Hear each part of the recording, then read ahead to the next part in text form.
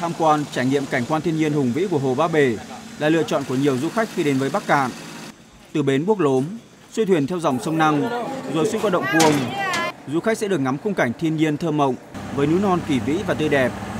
Thế nhưng, giữa khung cảnh thiên nhiên thơ mộng đó thì tiếng ồn từ động cơ của những chiếc thuyền chở khách du lịch đã ảnh hưởng không nhỏ tới trải nghiệm của khách. Đến nhiều lần rồi nhưng tôi vẫn đau đáu một một điều rằng là tôi thấy thiếu vắng những cái hình ảnh những cô gái uh, chèo thuyền độc mộc mặc áo dân tộc Tây uh, ờ, tự hồ thì rất là đẹp. Tuy nhiên thì cái tiếng ồn nó cũng là ảnh hưởng đến cảnh quan. Và tôi cũng rất là mong nếu như uh, ba bể mà muốn thực sự tham gia vào du lịch bền vững thì mình nên nghĩ một cái mô hình là có là trở lại cái văn hóa là những có những cô gái tây mà chèo thuyền độc mộc bằng những cái trang phục và uh, không dùng thuyền máy thì sẽ rất là tuyệt vời. Ngoài việc ảnh hưởng tới trải nghiệm của du khách thì việc sử dụng thuyền gắn động cơ khi di chuyển trên hồ cũng tạo ra những cơn sóng đánh vào hai bên bờ gây sạt lở. Đồng thời, tiếng ồn từ động cơ của thuyền cũng ảnh hưởng không nhỏ tới hệ sinh thái tại vườn quốc gia Ba Bể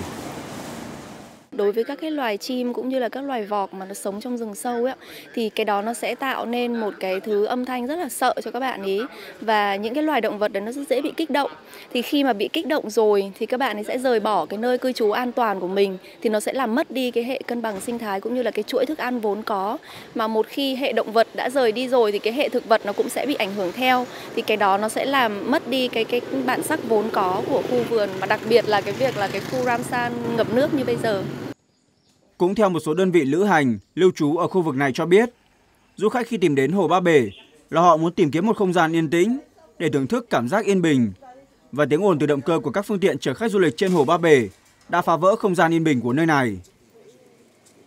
Thế thì bây giờ phải thay đổi lại cái mô hình này. Thì chúng tôi đang kiến nghị với cả ủy ban tỉnh, kiến nghị với vườn quốc gia và ban quản lý du lịch là thay đổi cái mô hình kinh doanh vận tải xuồng trên hồ Ba Bể, có thể là sử dụng những cái xuồng chèo tay, những cái thuyền độc mộc hay là những cái phương thức uh, ờ, làm việc khác có thể là thay bằng cái động cơ điện hay là như thế nào đó để giữ được cái tiếng uh, yên tĩnh ở trên hồ khi mà du khách đi du lịch. Thì những cái đó là những cái mà chúng tôi đang là muốn cố gắng làm sao để cùng bà con cùng với uh, cả chính quyền là thay đổi suy nghĩ thay đổi cái cách làm việc để cho nó hiệu quả hơn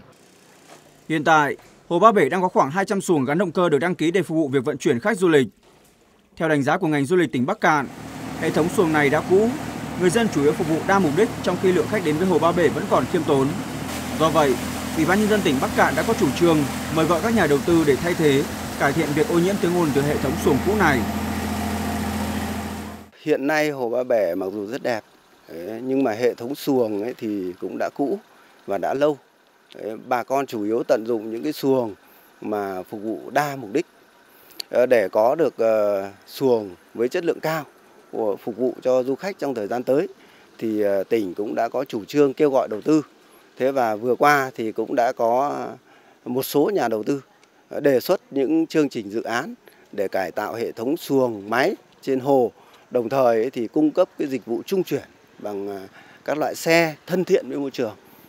giúp à, nâng cao cái chất lượng môi trường tại Hồ Ba Bể. So với các tỉnh ở khu vực Đông Bắc, du lịch Bắc Cạn xuất phát chậm hơn và còn rất nhiều tiềm năng chưa được khai phá. Tuy nhiên, trong quá trình khai phá những tiềm năng này thì cần sớm có những quy hoạch cụ thể để vừa phát huy tốt những tiềm năng thế mạnh sẵn có nhưng vẫn phải đảm bảo các yếu tố phát triển bền vững